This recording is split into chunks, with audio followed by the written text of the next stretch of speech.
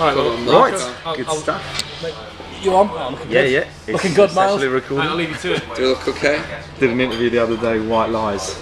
After done the whole interview, forgot to press record. God damn it. Oh no. Shouldn't stop with that. Anyway, Miles, pleasure to meet you. Hold on, oh, I'm flying low. Um, right, I mean, 24 years old. You've, you've had a career that most people would be proud of. You know, uh, you know, at the end of a career, you know, four reincarnations. You had um, Little Flames, Rascals, obviously, and um, Last Shadow Puppets. Yeah. Now, Yeah, what- I feel like it's just a start, man. Do you know what I mean? And I, I know I've done things, and you know, obviously, this, the puppets is, is fucking amazing, man, and great success. And to taste that, it's, it's, it was fucking amazing. But I feel with this, I, I, I feel like I'm just sort of starting out. I know I've done a lot, but I'm 24 now, and I feel this is you've found your feet. Do you know what I mean?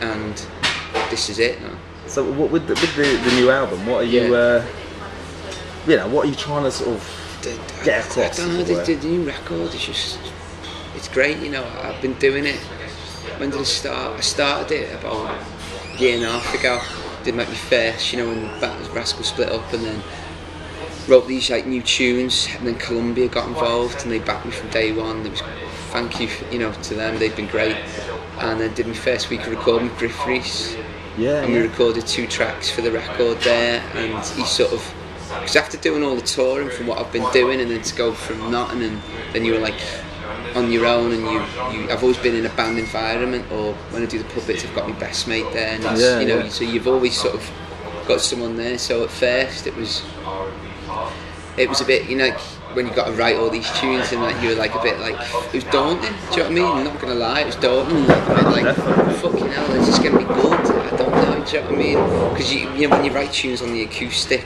they all sound sort of the same do you know what I mean? And I was like I want to fucking have it you know what I mean? And then uh, so doing my first week of recording with Gruff and Craig Silvey we recorded two tunes for the record one called The King Crawler and one called Take the Night From Me and then when we did that I was, and they sounded great I was like wow this this is amazing do you know what I mean? And um, and then so went on wrote more songs did the made the record and You always write them on, on your own. yeah. Songs, yeah, yeah more or less or like but then the idea is sort of always sort of change you know what I mean when you get in the studio like I, if you write a tune or an idea it can be I'll do it fast or slow do you know what I mean and then Yeah, yeah. see what sort of fits best see what everyone's saying do you know what I mean sort of producer says or you know see what feels right like a lot of the tunes on there they could have gone either way really do you know what I mean Yeah, yeah. Did you choose sort of Gruff uh, to, to work with? yeah, it was. I'd met him um, at the Mercury Awards when me and Al were up for that uh, a couple of years ago, and I've, I've always been a fan. Do you know what I mean? And, Yeah, and yeah. he's just a lovely lad, and we just got chatting and you know pissed. We were like, oh, it'd be great to do something together one day. Do you know what I mean? Then we followed it up, and I'd love to do more. You know. Superb. And uh, is he working on the whole album? Or? He's just done. He sort of say co-produced with Craig Silvey two tracks on the record, and then we did a bit of writing together on this one called Quicksand, which is a real sort of poppy one. It's got like a ba ba ba da ba ba in it, and and then he's done a bit of backing on a couple of others. Yeah, And with the you know the, the live experience and that, so we had Yeah. the uh, the Water Rats the other day. Great show. Oh right, yeah. Should, we did this fucking mind blowing one in the Barfly on Saturday for XFM. We had a stage invasion. Yeah. Was- 'cause I thought that water rat one was quite, you know, reserved. Yeah, but, but it, but it was press about. Yeah, it was one of them on it, but it, uh, still a good gig though. But and uh, we did this one Saturday and it was fucking mind blowing, like stage invasion and. uh, Everyone was sort of having it. You know. So, but how'd you get the band together then? You know. The, sorry, yeah, to answer to your question. Uh, the band, uh, they're all my mates, sort of. Um, Jay, I've known for a, good while, the drummer. Uh, Eugene, I've known for a couple of years, just from, he, even though he lives down, he'd been to a few gigs and blah blah. And then Phil, bass player, I met through my old flatmate. They went to school together and he plays Cherry Ghost and then he knew Ben, the keyboard guy. So we just all sort of got together one day. I'd sent them the tunes and they'd learnt them all and it was like, this is great. know. And it looks and sounds like a band as well, which is important to me. Do you know what I Yeah, mean? no, no, definitely. Even though it's me, your name, and I'm going out there promoting it, but to have that around me is so important, and it's great, you know. Nothing else, superb. And the video, video wise, do you um, did you come out with Daisy Lowe in the video, the new one? Uh, Come closer. It was the obviously you get loads of treatments, don't you, for videos? And Dan, who did the video, uh, his treatment was um, like Mean Streets, which is my favourite film. Yeah. Like the first De Niro film, Yeah, yeah, Scorsese. Best opening scene. It's got like "Be My Baby" is the opening scene. I love that tune. And uh, and then so like I, I just really liked you know his sort of treatment. And then so obviously we needed a girl in the video.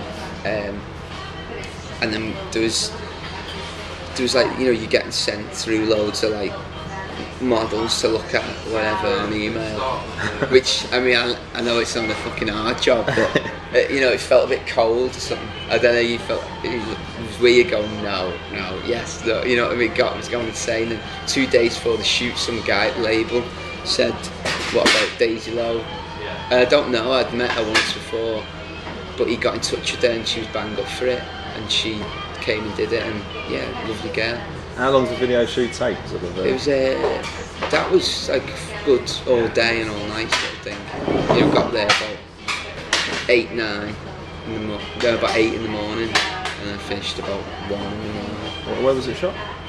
uh, in like some working men's club in Islington I think Ah. Good stuff. and What was I the should say about like exactly? New York Islington. No, we're from Islington. Yeah. Good place. but yeah, what was it about? and, and the whole thing behind the the, um, the idea behind it was to, to make it look as if it was a trailer, you know, for, for a film. Yeah, yeah, yeah. So you sort of don't know what's going on, but you, it could be as if it. I mean, it does look like it was from a film. It does. And Yeah. that tune it sort of would be good as like a for a film, wouldn't it? Really, like you know. yeah, yeah, yeah, definitely. So uh, yeah. I mean, you could follow it up that video. Weirdly, we had that idea the other day. Do you know what I mean? Yeah, It's like yeah, a yeah. story thing, but why don't well. That's my way of looking at it. The, um, I mean, at the moment, obviously, you've been promoted as uh, an exciting new talent uh, to look for. It seems a bit weird, though, new talent. You've been around Yeah. for, well, only 24, but it seems like a long time. And, um, uh, you know, those, those, do you like it, you know, reading like, oh, God, great, they're pushing me for next year, this is good, or is it comes with a bit of daunting, sort of, bet this better work? Yeah, I try not to read it really because it's it's boss. You know, people want to big you up, it's great, but people can Yeah. slag you off as well. Do you know what I mean? Nah, it's nah. it, do you know, it's as, True. as much as you get the good, you get fucking slagged probably as well. Do you know what I mean? Everyone does. Yeah, so it's just sort of. I'd rather just sort of ignore it in a way and just sort of. I'm gonna. I've made a great record and I'm buzzing to be sat here chatting to you today about it. You know what I mean? And doing interviews and I just want to go out there and gig and, and have a good time and I, I really want to break the charts as well. Yeah, I'm not no, gonna lie. Like I, I, there's just not enough guitar bands on the radio, Radio One, and not in the charts at all. I don't know if there's any. Do you know what I mean? At the moment, in the top Certainly not 40. many.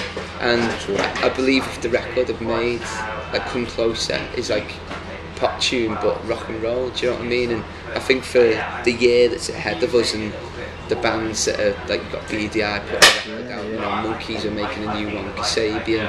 I've made a great rock and roll record, and uh, it, it could be the year for rock and roll. And I hope it is for guitar music to get back on the radio and back in the charts because there's not enough of it. It's it's sort of it's getting brushed under at the minute.